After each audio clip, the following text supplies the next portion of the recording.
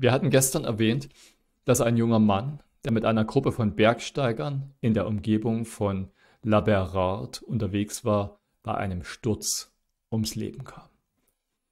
Es handelte sich um Monsieur Jacques Herpron, wohnhaft in der Rue Violette-le-Duc 10 in Paris. Monsieur Herpron war am Sonntag mit drei Gefährten, den Herrn Jean Bril, Pierre Delair und Henri Gunier, aufgebrochen, um Les Bains zu besteigen. Beim Abstieg löste sich ein Kletterhaken, an dem das Seil befestigt war, und nahm eine kleine Plattform mit sich, auf der sich Monsieur Herpron befand, welcher in den Abgrund stürzte. Ein Bergungstrupp ist aufgebrochen, um den Leichnam zu suchen und hofft, ihn heute zu erreichen.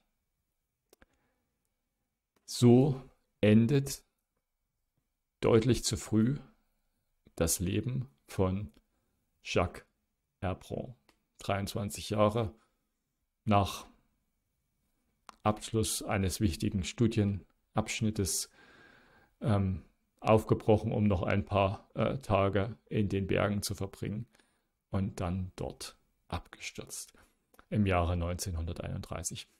Das Foto, das Sie hier sehen, ähm, ist auch ein sehr interessantes, eine interessante Aufnahme, ähm, entstanden in Hamburg. Ähm, dazu erzähle ich vielleicht bei anderer Gelegenheit mal mehr. Da gibt es auch eine interessante Geschichte zu. Ähm, jedenfalls ein äh, junger Mann, wie Sie sehen, äh, der sich schon in diesem jungen Alter einen Namen gemacht hatte durch seine besondere mathematische Begabung, der äh, wichtige Erkenntnisse erzielt hat in der Logik und ausgearbeitet hat. Ähm, und äh, dem wir auch heute noch äh, einige Bezeichnungen und Konzepte verdanken, die in der Logik eine große Rolle spielen. Und darum soll es heute gehen. Wir sprechen über Erbron-Modelle und allgemeiner Erbron-Interpretationen, Erbron-Universen und so weiter und so fort. Im Übrigen, ähm, wie meine Originaldokumente zweifelsfrei belegen, äh, handelt es sich hier um einen äh, Franzosen und dessen Namen wird man wohl sicherlich eher so aussprechen, wie ich das getan habe. Sie dürfen auch Herbrand sagen, wenn Sie sich da nicht so wohl fühlen. Also äh, man findet tatsächlich in der heutigen äh, Umgangssprache, auch im Englischen häufig äh, Fälle, in denen von Herbrand äh, Models etc. gesprochen wird. Ähm, so ist es, wenn man äh, so berühmt ist, dass äh, der eigene Name überall ähm, auftaucht. Äh, ich möchte gar nicht wissen, was mir da blühen würde, wenn das äh, mal äh, mir widerfahren würde. Äh, zum Glück besteht die Gefahr nicht ganz so akut. Willkommen also zurück. mein Name ist Markus Krötsch. Sie sind bei Theoretischer Informatik und Logik im Online-Kurs der TU Dresden. Und wir hatten uns zuletzt beschäftigt mit Resolution, dem Algorithmus. Ich hatte Ihnen argumentiert, dass das, was Resolution produziert, korrekt ist. Das heißt, wenn die ähm, leere Klausel abgeleitet wird, dann ist tatsächlich das, was wir als Eingabe hatten, unerfüllbar gewesen. Das war sehr einfach und schnell gezeigt. Was wir jetzt tun, ist, wir möchten gerne in Richtung der Umkehrung dieser Aussage kommen. Das heißt, wir wollen Vollständigkeit beweisen. Ähm, das heißt, wir wollen zeigen, wenn es kein Modell für eine Formel gibt, wenn sie unerfüllbar ist, dann leitet Resolution die leere Klausel ab.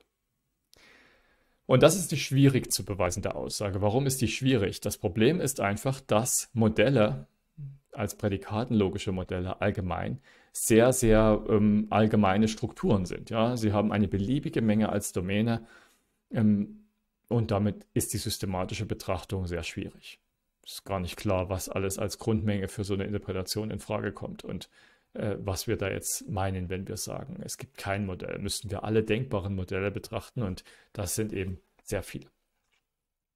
Und da kommt jetzt eine Idee ins Spiel, die ähm, von Erbron untersucht wurde, die aber auch an anderen Stellen in der Logik aufgetaucht ist. Skolem hatte ähnliche Ansätze, Gödel hatte ähnliche Ansätze. Und diese Idee ist ähm, hier mit dem Slogan zusammengefasst, Semantik aus Syntax. Also wir wollen Modelle konstruieren direkt aus den Formeln, welche sie letztlich erfüllen sollen. Ähm, das heißt, wir wollen aus der Syntax geeignete Modelle ableiten. Und ähm, einerseits ist es schön, wenn man das kann, andererseits ist es vor allem gut, wenn man erkennen kann, dass diese Modelle, die man aus der Syntax direkt gewinnen kann, immer ausreichen, dass sie immer ausreichend repräsentativ sind, sodass alles, was erfüllbar ist, auch mit solchen syntaktischen Modellen erfüllbar ist. Und dann hat man was sehr Konkretes. Darüber kann man sprechen. Und ähm, dann äh, ist man schon einen ganzen Schritt näher dran an dem, was wir hier zeigen wollen. Okay, also wir wollen diesen vagen Begriff, diesen schwammigen, wolkigen Modellbegriff der Prädikatenlogik ein bisschen ähm, technischer, konkreter äh, machen, ein bisschen auf die Erde zurückholen. Okay, ähm, die Idee dazu ist es, dass man vor allem zunächst einmal die Domäne vereinfacht. Und äh, der Kern dabei ist es, eine sehr syntaktische Domäne zu wählen. Eine Domäne, die aus syntaktischen Ausdrücken, aus Termen tatsächlich besteht. Und das ist das sogenannte Erpron-Universum. Wie bildet man das? Zunächst einmal nehmen wir an, dass wir eine beliebige Konstante a haben. Das Erpron-Universum Delta f für eine Formel f ist nun die Menge aller variablen freien Terme die man mit Konstanten und Funktionssymbolen in f und der zusätzlichen Konstante a bilden kann. Nochmal explizit aufgeschrieben als induktive Definition. Das Erpron-Universum enthält die Konstante a. Das Erpron-Universum enthält die Konstante c für jede, äh, also für, enthält jede Konstante c, die in der Formel f auftaucht. Und ähm, für jedes n-stellige Funktionssymbol f aus der Formel f äh, und alle Terme t1 und bis tn, die ich in diesem Erbron-Universum schon finde, äh, soll auch zusätzlich noch der Term f von t1 bis tn im Erbron-Universum enthalten sein. Und das ist jetzt induktive Definition, also auch dieser Term darf dann wieder als Argument in anderen Funktionen auftauchen. Okay, das heißt, ich habe beliebig geschachtelte Funktionsterme, die aber keine Variablen enthalten. Na, so steht es auch da. Ne? Okay. Ähm, was bedeutet das? Das bedeutet insbesondere, das Apron-Universum ist immer abzählbar. Warum abzählbar? Naja, weil die Elemente sich als endliche Zeichenketten darstellen lassen und es gibt nur abzählbar viele endliche Strings. Ähm, damit ist schon mal klar, Abzählbarkeit ist sicher. Das ist in Fortschritt, ja. Also allgemein in der äh, Prädikatenlogik, so wie ich es definiert habe, darf eine Domäne auch überabzählbar sein. Ich könnte die reellen Zahlen zum Beispiel nehmen als Grundmenge für eine Interpretation. Und man kann sich leicht denken, es ist irgendwie ist schwer mit sowas Groben und Allgemeinen zu arbeiten. Es ist schön, wenn man sich auf abzählbare Dinge ähm, beschränken kann. Ähm, dieses Universum ist also immer abzählbar. Manchmal ist es sogar endlich. Das kann passieren. Naja, wir sehen schon, wann das passiert. Ne? Es passiert genau dann, wenn keine mehr als nullstelligen, vielleicht sollte ich das sagen, äh, Funktionssymbole ähm, auftauchen. Sobald ein Funktionssymbol auftaucht, kann ich natürlich beliebig tiefe Schachtelungen in dieses Funktionssymbol konstruieren, dann wird es immer unendlich. Aber es könnte sein, ich habe nur Konstanten, dann wäre das Erbron-Universum endlich. Und ähm, es ist niemals leer. Das ist im Wesentlichen der Grund für diese seltsam anmutende Konstante a, die beliebig ist. Wir wollen einfach sicherstellen, dass irgendein Element in diesem äh, Universum auftaucht, ähm, dass da also irgendetwas existiert. Ähm, wenn wir schon andere Elemente, andere Konstanten in f haben, dann könnten wir diese Konstante auch einfach weglassen. Die brauchen wir wirklich eigentlich nur für den Fall, dass wir sonst keine Konstanten hätten und damit nicht genügend Elemente im Erbron-Universum finden würden. Okay. Das also ist das Erbron-Universum und mit dem wollen wir jetzt Interpretationen bilden. Hier ist noch ein kleines Beispiel. Ähm, Formel f, p von f von x, y, g von z hat also äh, zwei Funktionssymbole f und g und keine Konstanten. Und das Erbron-Universum, was ich erhalten würde, würde jetzt enthalten die Konstante a natürlich, die ich hinzufüge dann f von a und g von a, das kann ich hier nach der dritten Regel bilden. Dann natürlich aber auch f von f von a, f von g von a, g von f von a, g von g von a und so weiter und so fort. Unendlich viele, aber abzählbar unendlich viele verschiedene Terme, alle ohne Variablen. Okay. Das also ist das Erbron-Universum. Und die Interpretationen, die ich jetzt damit bilde, sind äh, Interpretationen, die das als Grundmenge verwenden und die zusätzlich einfach Terme durch sich selbst interpretieren. Und was das genau heißt, sehen wir gleich an der Definition hier. Eine Apron-Interpretation für eine Formel f ist eine Interpretation I, für die gilt, ähm, die Domäne von I ist das Apron-Universum von f. Und für jeden Term t in diesem äh, Universum lege ich fest, t interpretiert ist t.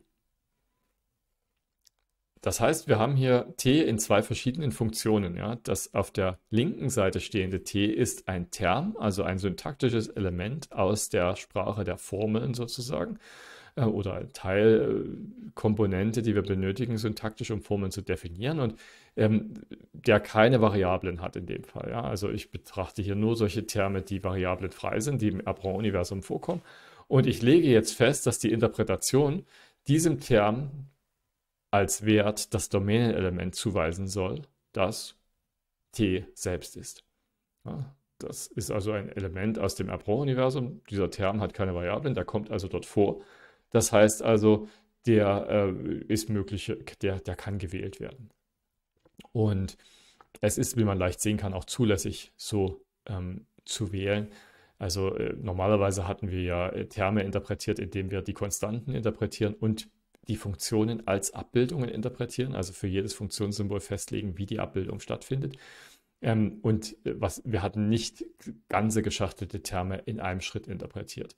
Aber hier ist das zulässig, hier kann ich auch passende Funktionen dafür finden, ähm, für diese Abbildung, die also das tatsächlich realisieren wird. Okay, also jeder Term wird als sich selbst interpretiert. Ähm, und das legt insbesondere auch fest, wie eine äh, bestimmte Funktion über Elementen, über Domänenelementen äh, aus dem Erbron-Universum agieren soll. Also was passiert, wenn die Funktion f zum Beispiel auf bestimmte Elemente t1 bis tn aus diesem Erbron-Universum angewendet würde? Naja, ich, ich bilde einfach den Term f von diesen Argumenten. Das ist dann der Funktionswert. Okay, also Sie sehen, man kann die äh, alle gleich so interpretieren. I ist ein Erbron-Modell. Bis jetzt war es nur eine Interpretation. Wir nennen das ein Modell, wenn äh, es zudem die Formel erfüllt. Also für f, nicht wahr? Ähm, okay, das ist der Modellbegriff und der Apron-Interpretationsbegriff kombiniert. Okay, das also sind Apron-Modelle. Einfache Modelle, die jeden Term, der keine Variablen enthält, syntaktisch interpretiert. Was machen wir mit Termen, die Variablen enthalten? Naja, die müssten natürlich ähm, mit einer variablen Zuweisung äh, interpretiert werden. Das heißt, man müsste die Variablen, die darin vorkommen, auf irgendwelche Domänenelemente abbilden und dann äh, die entsprechende ähm, Interpretation äh, finden. Und da sehen Sie, naja, die Domänenelemente sind ja wieder Terme. Das heißt, ich würde dann für die Variablen wieder Terme ohne Variablen einsetzen und der, das Ergebnis der Interpretation wäre dann wieder der Gesamtterm ohne Variable, der da rauskommt. Also ist auch äh, das ist ganz einfach. Okay, das sind also Erbron-Interpretationen. Wir ähm, behalten einfach die Syntax bei ähm, und nehmen das als Interpretation.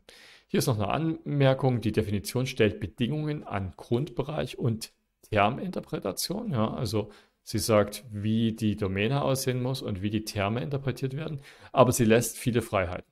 Also was wir hier nicht definieren, ist, wie Prädikate äh, interpretiert werden sollen. Ja? Also es gibt viele verschiedene Erbron-Interpretationen, nicht alle sind Erbron-Modelle. Ähm, das äh, kann man, äh, das hängt davon ab, wie dann die Prädikate interpretiert sind.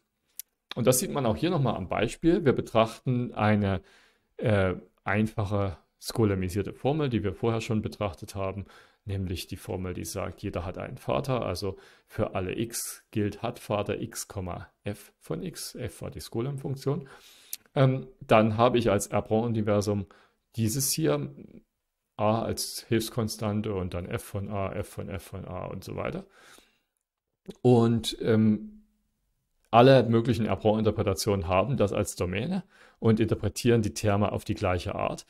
Aber ähm, es gibt trotzdem unterschiedliche Apprend-Interpretationen. Eine wäre zum Beispiel diejenige, die ich hier als I1 bezeichnet hat, die das Prädikat hat Vater auf die leere Menge abbildet. Das heißt, dort gibt es keine äh, Paare, keine, keine binären äh, Tupel in der Relation hat Vater. Ähm, das wäre dann aber auch kein Abraum-Modell, denn offenbar gilt die Formel f, die sagt, für alle x gilt hat Vater x, f von x nicht, wenn überhaupt nie, niemals hat Vater gilt. Ja, dann gibt es viele x, für die das nicht gilt. Interpretation I2 ist die, die wir vielleicht am ehesten im Sinn hatten, als wir das aufgeschrieben hatten. Das ist die Interpretation, die hat Vater alle Paare von Termen T und Termen F von T zuordnet. Das heißt, für jede, jedes Element T gibt es genau einen Vater hier, der mit F von T notiert wird. Und äh, das mache ich für alle Terme. Das wäre ein Abraum-Modell, weil es tatsächlich für alle x gilt, dass f von t in der Relation hat Vater steht, wie gefordert von der Formel. Ich könnte aber auch noch allgemeiner sein und könnte ein drittes Abraum-Modell finden, I3, was einfach die Relation hat Vater als das kartesische Produkt über der Domäne interpretiert. Das heißt also, alle Paare sind, stehen in dieser Relation. Alles ist Vater von allem. Und auch diese Interpretation würde diese Formel wahr machen. Denn offenbar gilt das für alle x. Ja. Es gilt sogar noch viel mehr als das. Okay, also wir sehen, es gibt viele Airbraun-Interpretationen. Manche davon sind manchmal Modelle. Ähm, jetzt kann man äh, mit dieser syntaktischen Interpretation von Formeln viele Dinge sehr vereinfachen. Und äh, ein Beispiel dafür sieht man hier äh, auf dieser Folie, auf der ich eine ganz einfache Hilfsaussage mal äh, feststellen will, nämlich dass man durch diese Rapport-Interpretationen zwischen Syntax und Semantik ziemlich ähm, gleitend hin und her wechseln kann. Also die große Unterscheidung, die wir vorher hatten, dass Syn Syntax äh, Formeln sind, die man aufschreibt und die irgendwie Zeichenketten entsprechen und Semantik äh, etwas Abstraktes ist, wo ich irgendwelche Domänenelemente hatte oder, oder sie erinnern sich ja Inseln mit Einwohnern oder was auch immer da sein könnte. Also beliebige Dinge, die irgendwie eine relationale Struktur bilden. Ähm, plötzlich sind diese beiden Welten gleich und lassen sich äh, in Beziehung setzen. Und äh, das Lemma gibt ein Beispiel dafür. Ähm, für jede Erbrow-Interpretation I, jede Zuweisung Z für I, jeden Term T aus der Domäne von I, das ist natürlich die, äh, das Erbrow-Universum von einer ähm, bestimmten Formel, für die das die Erbrow-Interpretation ist. Das habe ich hier nicht genannt, welche Formel das sein könnte. Ähm, und jede beliebige Formel f, nicht unbedingt nur für die, die wir als Grundlage für die Abraham-Interpretation hatten, gilt folgendes. Also für alle diese Dinge in beliebiger ähm, Konfiguration gilt. i gemeinsam mit z, wobei x durch t ersetzt wird, erfüllt f. Genau dann, wenn i gemeinsam mit z die Formel f erfüllt, in der wir x durch t syntaktisch ersetzt haben. Und ähm, was wir also jetzt hier machen, ist auf der einen Seite hier links haben wir eine Variablenzuweisung modifiziert. Wir haben gesagt, die Variable x wird auf das Domänenelement t, auf diesen Term abgebildet. Auf der rechten Seite dagegen haben wir gesagt, wir wenden eine Substitution auf die Variable x ein und ersetzen sie durch einen anderen Term. Und diese beiden Dinge sind äquivalent, ja. Also es ist egal, ob ich die auf semantischer Ebene x irgendwie interpretiere oder ob ich das gleich syntaktisch einsetze. Ich kann zwischen diesen beiden Sichten wechseln. In der Apprend-Interpretation ist das ähm, das Gleiche. Ähm, okay, das, da gebe ich keinen Beweis an. Das ist ziemlich einfach und ziemlich direkt. Kann man sich an den Definitionen überlegen. Vielleicht eine ganz gute Übung, kann man mal durchgehen. Ähm, hier ist noch eine kleine Anmerkung, die ich tatsächlich auch verwenden werde hier auf den Folien. Ähm, man kann äh, ein entsprechendes Resultat auch bei Nicht-Apprend-Interpretationen zeigen und das ist eigentlich genauso einfach. Ähm, dann muss man aber auf der linken Seite, also hier, den Term t durch t interpretiert durch i und z ersetzen. Weil t natürlich bei beliebigen Interpretationen überhaupt kein Domänenelement ist. Ich kann nicht einfach irgendeinen Term hier hinschreiben, auch nicht einen, der keine Variablen enthält, ähm, und sagen, ich ersetze x mit diesem Term. Der kommt ja vielleicht gleich in der Domäne vor, aber ich kann x mit dem Element ersetzen, als dass der Term interpretiert würde unter dieser Zuweisung. Und ähm, wenn man noch ein bisschen präziser sein wollte, könnte man das Komma Z hier auch weglassen, da ich ja äh, in dem Fall mich zumindest hier nur für äh, Terme interessiert habe, die keine Variablen enthalten, weil sie ja in der Abraham-Interpretation als Element vorkam, dann brauche ich auch kein Z, um die zu interpretieren. Okay. Gut. Ähm, das äh, lässt sich also verallgemeinern. Aber bei Abraham-Interpretation ist besonders einfach. Da ist die Interpretation von T eben genau das gleiche wie T selbst. Okay, gut. Das also dieser Bezug und ähm, vielleicht ein bisschen was, was noch eine zusätzliche Sicht auf diese, auf diese speziellen Interpretationen uns gibt. Okay, also Erpront-Interpretation, Erpront-Modelle, Syntax gleich Semantik. Schön eine Vereinfachung im Prinzip. Ja.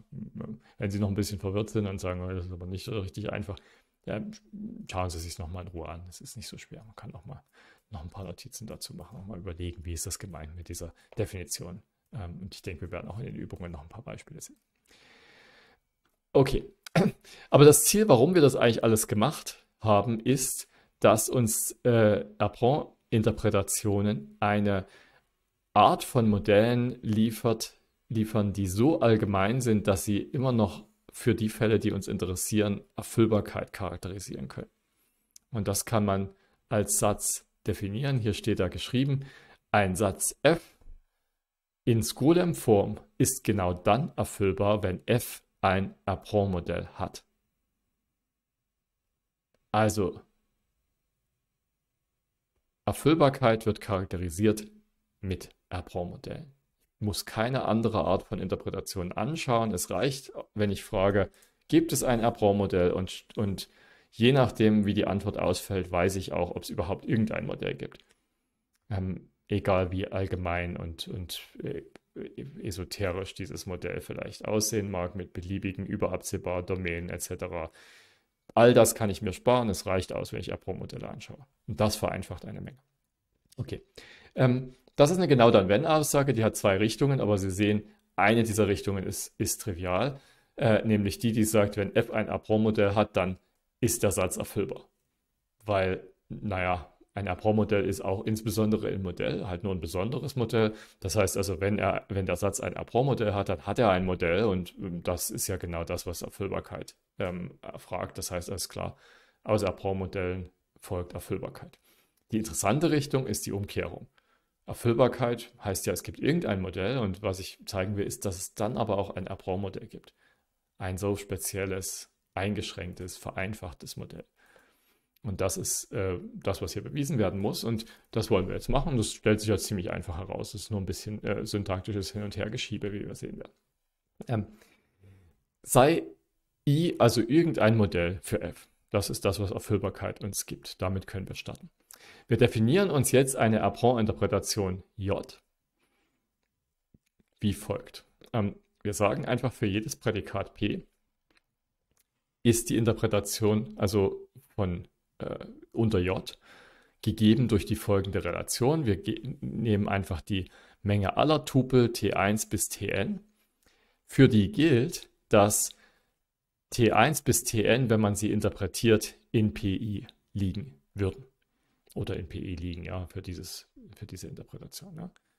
Ähm, hier sind diese TIs natürlich alle Variablen frei, ja, denn es sind ja Elemente aus dem Universum, aus der Domäne dieser Erpront-Interpretation und Erpront-Interpretationen haben das Erpront-Universum als Domäne, das heißt, da sind nur variablenfreie Terme drin und das heißt, ich kann von deren Interpretation unter i sprechen. Ich brauche da keine Variablenzuweisung. Es ist also wohl definiert, das ist die Anmerkung hier. Ähm, und das ist alles, was ich definieren muss, um eine Erpront-Interpretation J zu beschreiben, denn alle anderen Bestimmungsstücke von Interpretationen, also die Domäne und die Art, wie die Terme interpretiert werden, das ist ja für Herbrauer-Interpretationen schon festgelegt. Also das ist hier äh, nicht nochmal notwendig, das zu definieren. Nur die Prädikate stehen uns frei, noch zu wählen und das ist das, was hier passiert. Wir wählen genau die Prädikate, die syntaktisch dem entsprechen, was auch in i gelten würde. Okay, und was ich jetzt behaupte, ist, dass diese Konstruktion funktioniert, dass wir auf diese Art tatsächlich aus einem beliebigen Modell, was vielleicht eine überabsehbare Domäne hat und sehr kompliziert aussehen könnte, ein solches Erpront-Modell erhalten.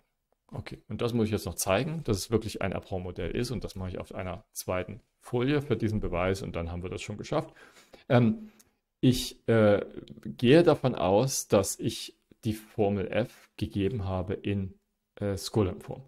Das heißt also, sie kann allgemein so dargestellt werden, dass ich sage, für alle x1 bis xn g. Und g selbst ist quantorenfrei. Das ist also eine allquantifizierte Formel. Ähm, alles Existenzielle habe ich schon skolemisiert. Und ich habe so eine Prenex-Variante davon. Okay, Das ist also meine Formel. Und ich möchte zeigen, dass das J ein Modell davon ist. Ich weiß, äh, dass I ein Modell für f ist. Das heißt, weil f so allquantifiziert ist, kann ich daraus folgern, i muss für eine beliebige Zuweisung z den inneren Teil g erfüllen. Beliebige Zuweisung ist letztlich insbesondere eine beliebige Zuweisung für die Variablen x1 bis xn. Das heißt, da habe ich den Allquantor beschrieben, wenn ich das so schreibe. Und für, für jede solche Zuweisung z soll das gelten.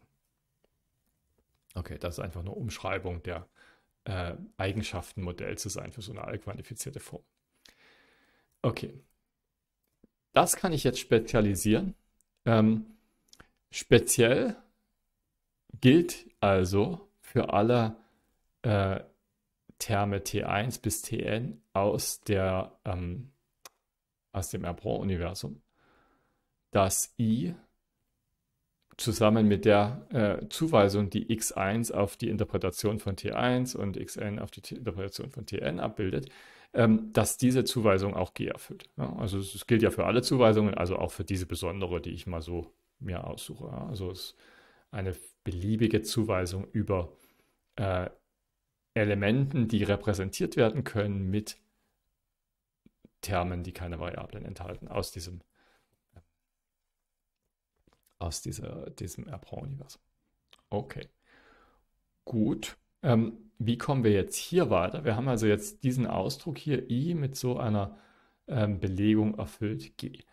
Und jetzt möchte ich diese Belegung in, auf die andere Seite bringen, so ähnlich wie ich es gerade mit dem Lemma gemacht habe. Bloß ähm, wir sind ja hier noch an, einem, an, einer Stelle mit i, wo keine Erbron-Interpretation vorkommt. Ähm, ich hatte aber argumentiert, dass man es auch für beliebige Interpretationen so machen kann, äh, als Randbemerkung. Und äh, tatsächlich folgt also, es muss gelten i, ähm, erfüllt die Formel g, die ich erhalte, wenn ich die Variablen ersetze durch die entsprechenden Terme.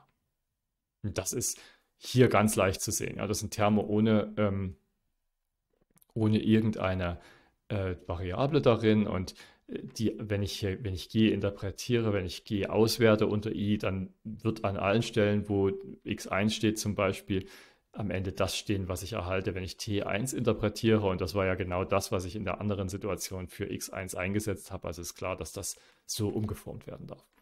Okay, das heißt also, ich weiß jetzt, dass I eine bestimmte Instanz, könnte ich sagen, der Formel G erfüllt, bei der ich die Variable, Variablen auf eine bestimmte Art interpretiert habe oder äh, auf eine bestimmte Art konkretisiert habe. Äh, anstatt für alle steht jetzt für diese spezifischen. Okay. Das kann ich jetzt nutzen, um nach J zu wechseln, weil die ähm, Interpretation J war ja ähm, definiert äh, bezüglich der Terme aus dem Apprend-Universum, für die I eine bestimmte ein bestimmtes Prädikat wahrmacht. Wir können uns jetzt hier vereinfachend mal vorstellen, wir hätten hier kein G, sondern einfach ein P, ein einfaches Prädikat und das wäre hier ähm, ein Prädikat, was einfach die Argumente x1 bis xn hätte, anstatt äh, eine Formel G, in der das x1 bis xn irgendwo vorkommen kann und vielleicht noch Boolsche Operatoren und all das. Also stellen wir uns erstmal vor, es wäre hier nur ein einziges Atom ähm, mit einem Prädikat davor.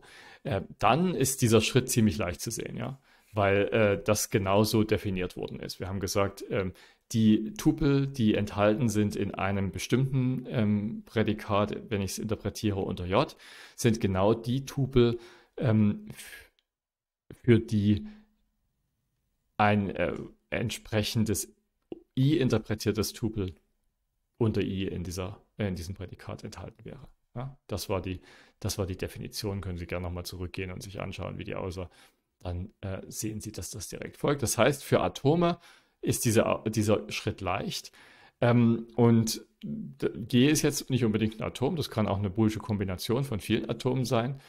Aber ähm, um von einer Aussage über Atomen zu einer Aussage über beliebige boolsche Verknüpfungen dieser Atome zu kommen, kann man ganz einfach in so ein induktives Argument wieder benutzen. Das ist also etwas, was Sie äh, schon gesehen haben. Äh, strukturelle Induktion ist die Technik, die wir immer benutzen, um eine Aussage, die ähm, für Atome gilt, auf beliebige Formeln, auf beliebig komplizierte zusammengesetzte Formeln hochzuziehen. Und das gilt ja auch. Also die Atome sind der Induktionsanfang und mit verschiedenen Induktionsschritten kann ich jetzt das auch für Konjunktionen von solchen Atomen zeigen oder für Negationen oder für Konjunktionen von Formeln, von denen ich schon gezeigt habe und so weiter. Okay, ähm, das würde also äh, machbar sein und wir stellen fest, also mit diesem etwas äh, groben Skizzieren, was ich hier mache, äh, dass tatsächlich I auch diese Formel erfüllt, die ich erhalte, wenn ich diese spezielle Ersetzung durchführe. Pardon, J ist dieses ja, Gebilde. Also ich bin jetzt schon mit bei J, meinem äh, meiner Apron-Interpretation, von der ich zeigen will, dass es ein Apron-Modell von F ist. Bisher habe ich gezeigt, dass es ein Modell ist von G mit dieser spezifischen Ersetzung. Und jetzt kann ich zurückgehen zu G ohne diese Ersetzung, indem ich das Lemma von eben gerade anwende und diese Substitution in eine Variablenzuweisung umwandle. In dem Fall müssen wir nichts interpretieren, weil die Interpretation von T1 unter J einfach wieder T1 ist. Ähm, das war also das Lemma. Und ähm, dann steht hier, dass also J mit dieser spezifischen Variablenzuweisung G erfüllt. Aber wir erinnern uns, wir hatten ja gesagt, äh, dass das für alle möglichen T1 bis Tn gilt, die im Apron-Universum stattgefunden äh, werden können. Ja?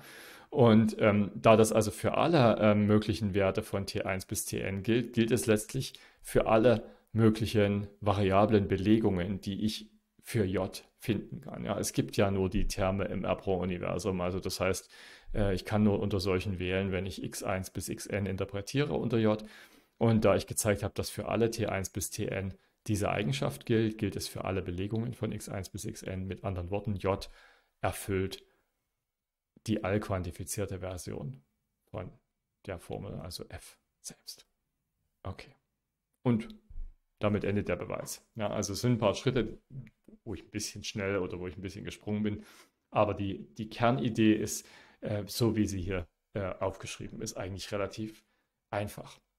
Und ähm, selbst wenn Sie vielleicht einige Teilschritte nicht so komplett einleuchtend fanden oder ein bisschen verwirrt waren, äh, kann, können Sie sich zumindest die Gesamtsicht nochmal äh, klar machen hier. Wir beginnen ähm, mit der Information, dass die Interpretation I die Formel erfüllt im Ganzen und wir brechen das dann runter auf einzelne Werte und machen bei den einzelnen Werten den Schritt zu dieser neuen Apron-Interpretation. Also das heißt, weil wir wissen, dass i für alle Werte die Formel erfüllt, können wir mit unserer besonderen Definition von j auch zeigen, dass j ebenfalls die Formel für alle Werte, die j überhaupt zur Verfügung hat, erfüllt und daraus folgt dann, dass j auch diese allquantifizierte Formel erfüllt.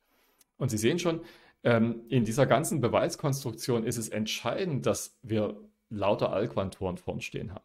Das ist also eine wichtige äh, Eigenschaft der Formel, die wir hier ausnutzen. Es gibt nur Allquantoren und die stehen alle ganz vorne und ich muss also nur alles irgendetwas für beliebige Terme zeigen, also für alle Terme zeigen, die es gibt und dann habe ich den Allquantor äh, erzeugt und damit ist mein Beweis erbracht. Und ähm, wenn die Formel nicht diese Form hätte, wenn da zum Beispiel Existenzquantoren stehen könnten, wäre das kein gültiges Argument. Dann könnten wir nicht einfach sagen, die Formel sieht so aus, sondern müssten wir für andere Fälle auch Argumente bringen. Und es stellt sich heraus, dass das nicht funktionieren würde. Der Beweis hängt wirklich davon ab, die ganze Eigenschaft, dass Erfüllbarkeit durch Apron-Interpretationen repräsentiert wird, ähm, die hängt davon ab, dass wir hier mit Skolem-Formen arbeiten, wo nur Allquantoren vorkommen. Und um das zu sehen, können wir leicht uns ein Beispiel anschauen, wo die Behauptung nicht gelten würde, ähm, was aber eben auch nicht in Skolem-Form ist. Ähm, schauen wir uns dafür diese Formel an, die sagt, es gibt ein x, sodass p von x gilt und es gibt ein y, sodass nicht p von y gilt. Also manche Elemente sind in p und manche nicht. Das ist offensichtlich erfüllbar. Man kann sich eine Interpretation vorstellen, wo es ein Element gibt, was in P liegt und ein anderes, was nicht darin liegt. Und dann ist auch diese Formel wahr. Ähm, in der Formel kommen aber keine Konstanten und auch keine Funktionen vor. Das heißt, das Apron-Universum ist ziemlich einfach. Das ist einfach nur A. Das ist unsere Hilfskonstante. Ein sehr endliches Apron-Universum. Ähm, jetzt ist es aber leider so, dass keine Interpretation I mit dieser Domäne A ein Modell der Formel ist äh, da ja es nur zwei Möglichkeiten gibt, das Prädikat P zu interpretieren. Wenn nur ein Element vorhanden ist, dann ist P entweder interpretiert als die leere Menge, wenn das Element nicht darin ist, oder ähm, P wird interpretiert als die Menge, in der nur A vorkommt, aber dann ist die Negation von P die leere Menge, weil es keine weiteren Elemente mehr gibt neben A. Ähm, das heißt, eines der beiden ist jeweils leer und damit ist der entsprechende Teil der Formel äh, nicht wahr und die Konjunktion damit auch nicht. Und das heißt, die Formel ist nicht erfüllt. Also das bedeutet, ähm, wir sehen, äh, Erbron-Interpretationen funktionieren, aber nur für Skolem. Ähm, äh, Formen. Und das können wir auch hier nutzen. Wir könnten hier skolemisieren. Ähm, wenn wir die Skolem-Form bilden, müssen wir aber zwei Existenzquantoren entfernen und bekommen zwei nullstellige Skolem-Funktionen hinzu. C und D nenne ich die hier mal. Das sind also Konstanten. Ähm, dann habe ich aber jetzt zwei verschiedene Konstanten. Ich habe ein Erbron-Universum, in dem zwei Konstanten auftauchen, sogar nach unserer Definition drei, weil das A ja immer dabei ist. Aber jedenfalls habe ich genügend Konstanten, um eine davon in P zu stecken und eine davon nicht in P zu stecken und die Formel also insgesamt zu erfüllen. Okay, also das heißt, in dieser Domäne existiert wieder ein Erbron-Modell, die Erfüllbarkeit wird korrekt dargestellt. Okay, gut. Also, ähm, was haben wir gelernt? Äh, Im Wesentlichen haben wir gelernt, es, wenn wir uns auf Formeln in Schoolem-Form beschränken, so wie wir das bei Resolutionen ja letztlich tun, dann können wir die Frage, ist eine Formel erfüllbar, vereinfachen und einfach nur fragen, äh, hat eine Formel ein Abraummodell? Und das äh, wird uns helfen, die Vollständigkeit für Resolution zu belegen und zu verstehen, warum funktioniert das jetzt, dass ähm, wirklich immer dann, wenn die Formel kein Abraummodell hat, unerfüllbar ist, auch die leere Klausel irgendwann abgeleitet werden muss. Okay, wie genau das funktioniert, das äh, kann ich Ihnen aber erst beim nächsten Mal ähm, verraten, denn dieses Video ist jetzt schon lang genug, würde ich sagen. Bis dahin, tschüss und auf Wiedersehen.